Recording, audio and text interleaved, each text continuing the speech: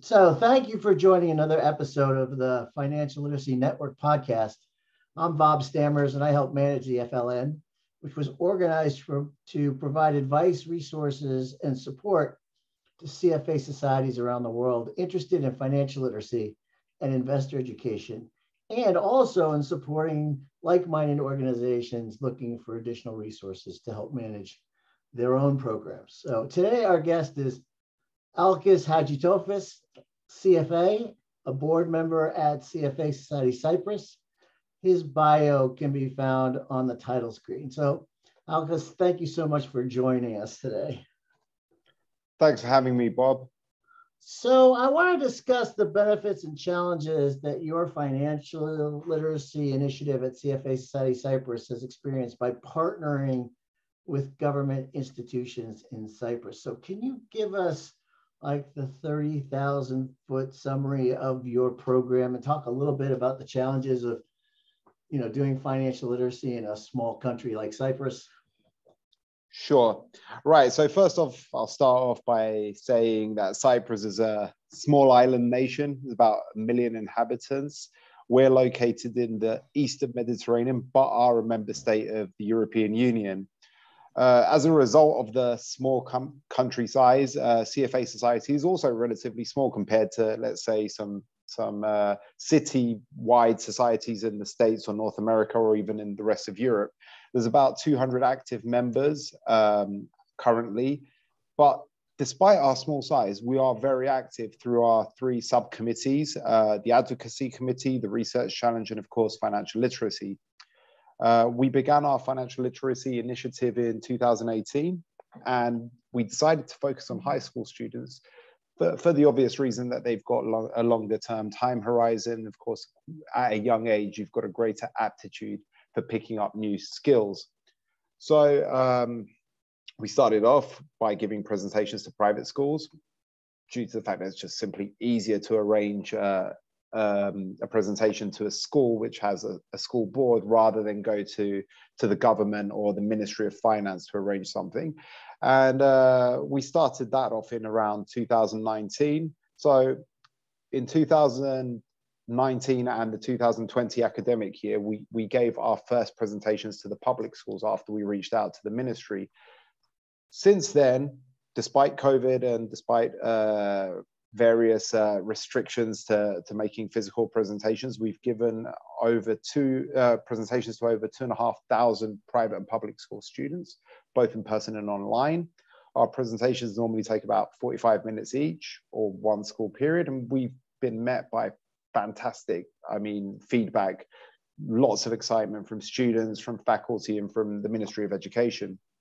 And, and in fact, uh, one of the student, one of the private schools that we presented to uh, back in 2018 came to us and asked us to help them develop a compulsory uh, financial literacy course for their seniors um, who were graduating high school. So we enlisted the help of a local university, the University of Cyprus, uh, in order to develop the material. And with our support, as of September 2021, a financial literacy a compulsory financial literacy course has been um, affected and is in is in place at the moment, and it's the first one on the island, and it has been kind of used as a pilot program, which um, has, uh, as of today, resulted in a further 14 schools signing up to this event. So, in the last couple of months, um, along with the University of Cyprus, we've been um, going to schools, doing presentations, um, presentations to, to the boards of the schools, but also presentations to students.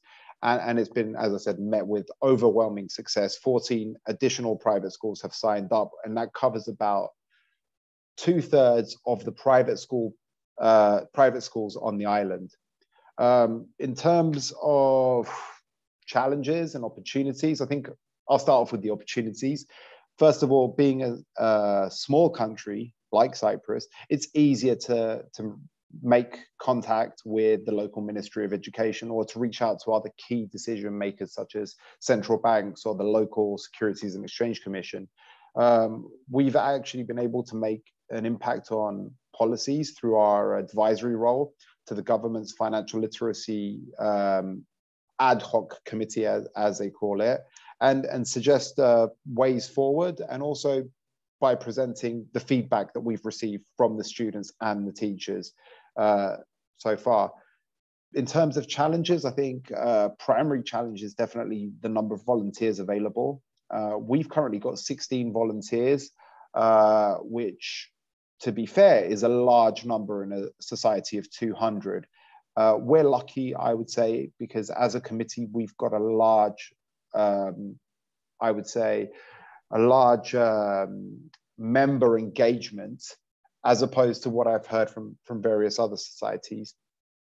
A second issue I can think of was definitely developing materials. And, and this is, of course, before we discovered the Financial Literacy Network and your uh, catalog of uh, materials and presentations, which is available. But I mean, we've spent hours and hours developing uh, material, presentations, videos from scratch, and not only developing them, uh, developing them in English and also in Greek because those are the two languages that we're presenting. Uh, and finally, funding has been an issue. Uh, literacy is not something that's really covered by the impact funding from uh, the society, and we haven't received any government grants or any third party contributions. So, as a smaller society with tight budget, um, we really have to to stretch out what we're doing. So any presentations, anything that we've been doing has been solely on uh, the society's income, and so we've we've tried to rely as much as we can on our volunteers. Uh, had we had better funding, I'd say that we could have done maybe a financial literacy day or an event, you know, to to attract people. That's definitely something that I would have would have looked at. So how would you how bad is the financial literacy issue in Cyprus, and how, how do you think it compares to you know other countries around the world? Well, we've we've definitely got a financial literacy issue. Um, a poll that I saw in 2021, uh, which had around 900 people um, being polled, showed that in fact 50% of of those polled were financially illiterate. Uh, this is really evident in in uh, younger participants. Uh, out of that sample, I think around 30% only about 30% actually uh, felt comfortable taking their own financial decision. That's also quite telling. Um, furthermore, this is just something which is kind of a cultural, I'd say, issue. Uh, we've had certain financial events take place, um, which has made people hesitant to invest.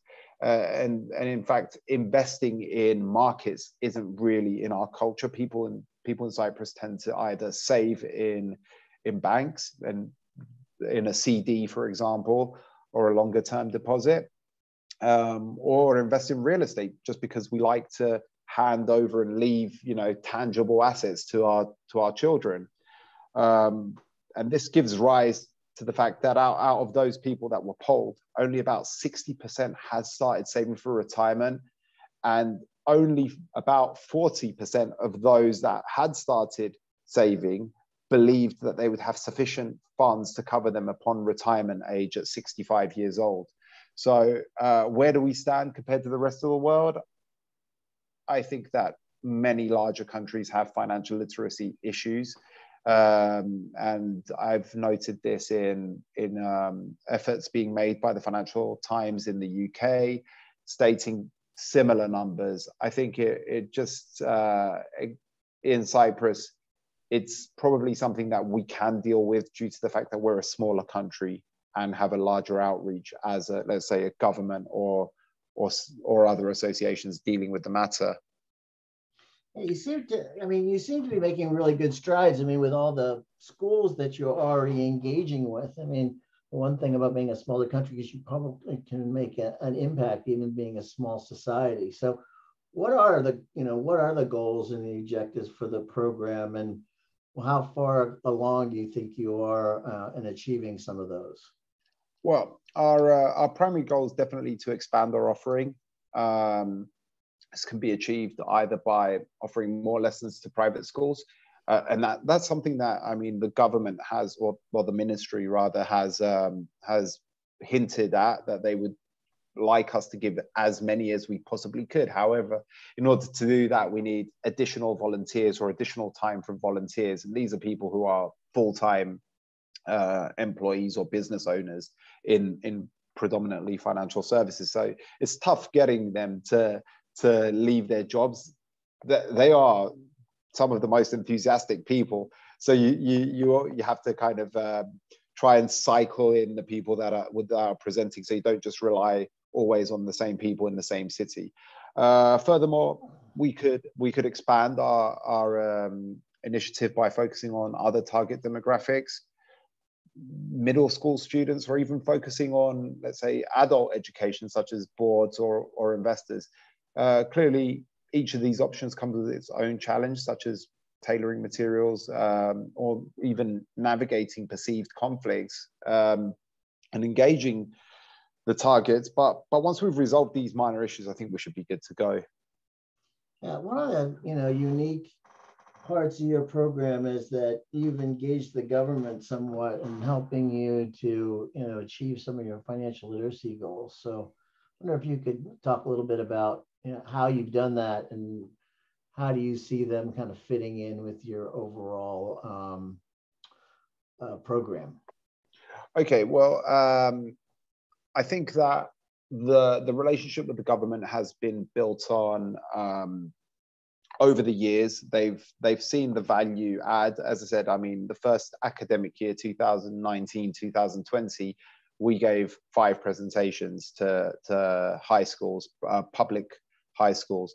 Um, since then, they've seen the value. They've seen that we've been available whenever they've requested. We've fulfilled any slots that they've uh, given us and uh, the feedback that they've received from their from the, the headmasters or headmistresses, uh, the students, the teachers participating has been fantastic.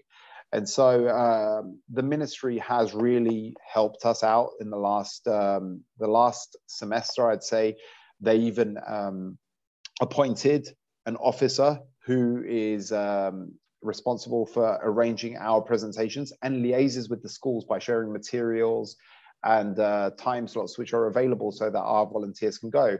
Um, during the past semester, we delivered 10 presentations in uh, December across two cities on the island. We actually had two, um, two presentations that we didn't manage to get to because the communities were so uh, far from the main cities that they were snowed in and we couldn't get to them.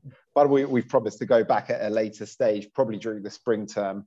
Um, in terms of how the government has um, can help us, let's say in the in the longer term, uh, I mentioned earlier that there's been an ad hoc committee set up to try and target financial literacy, and I believe that uh, once this uh, committee uh, shifts from kind of the strategy side to the implementation side will be brought in more in order to, I'd say, one, give more uh, presentations, but also B, uh, or two, sorry, help with uh, with strategy. And I mean, a lot of this comes from the material that we use, but also from the feedback that they're given.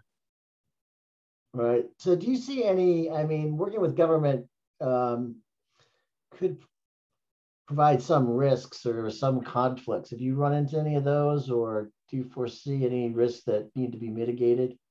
Um, we have received some feedback over concerns of possible conflicts of interest. Let's say because most, as I mentioned earlier, most people are employed in financial services because we're CFA charter holders, and unlikely that we're going to be employed in some other industry.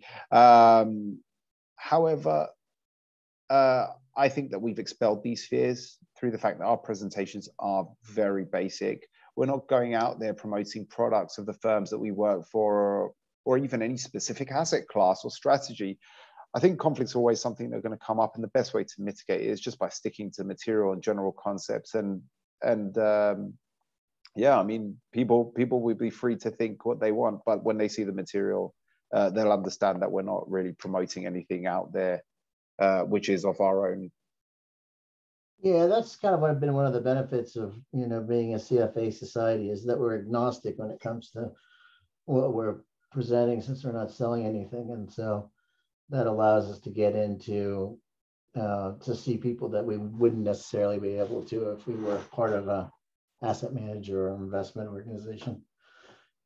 So, um, what do you think are the most important things that you've learned about creating and managing a financial literacy program at CFA Cyprus that you think other societies should be aware of? Um, well, definitely that is a never ending task and it literally absorbs every amount of effort that you put in and it will still not be complete. Uh, the more effort you put in, obviously, the greater the results. And, and we've been lucky on that side because our committee has a lot of member engagement. And I, and I think I mentioned that earlier.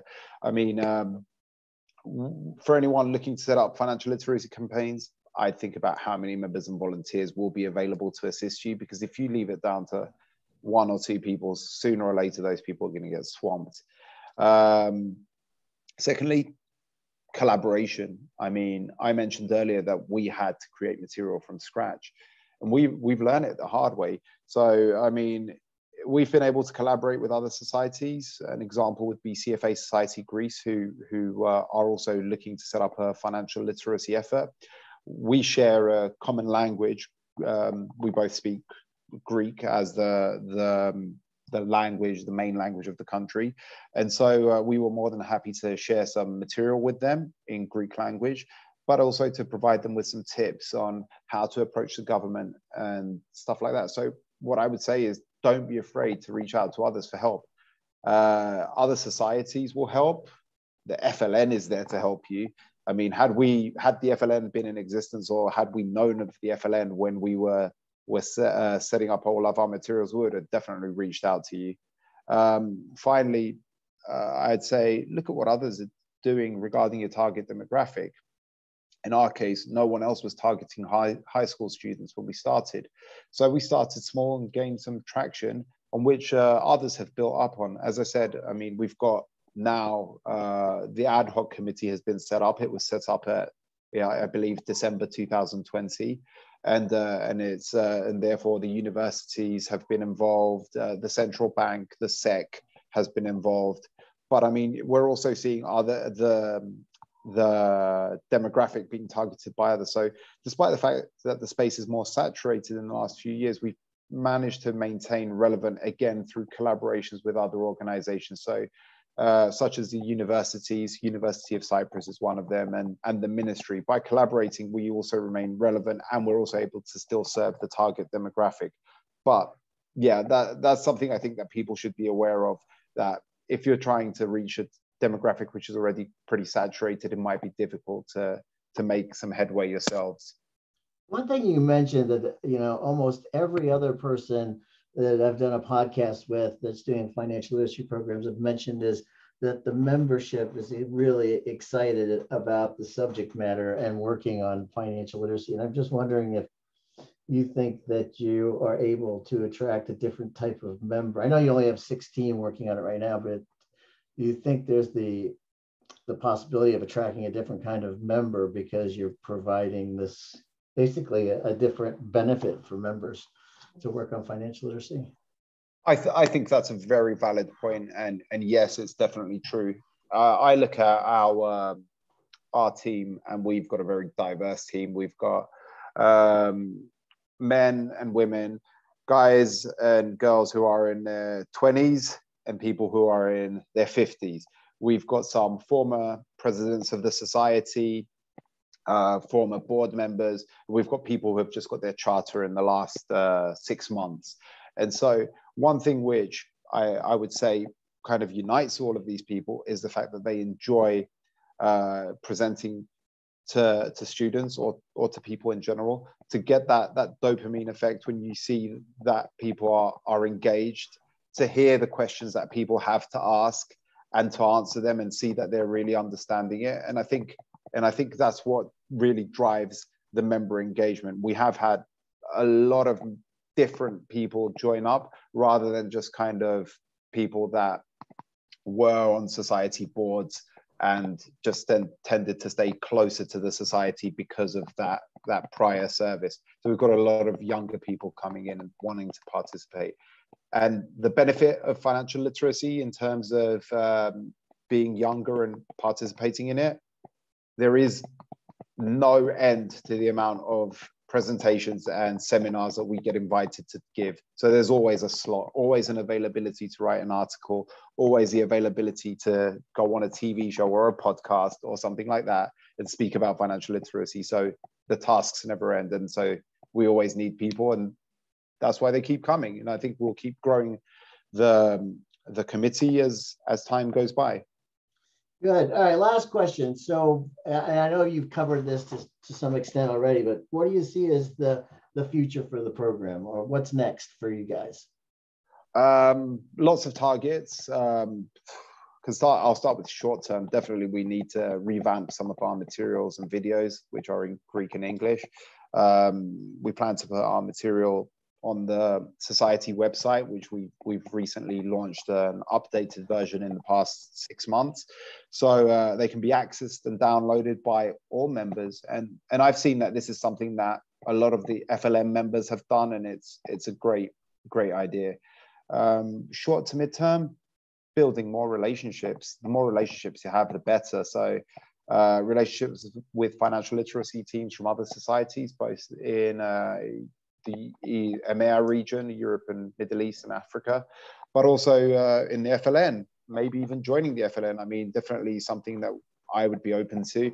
Uh, relationships are definitely very helpful for sharing ideas and materials and also for finding out about what initiatives people are doing and maybe adopting some of those.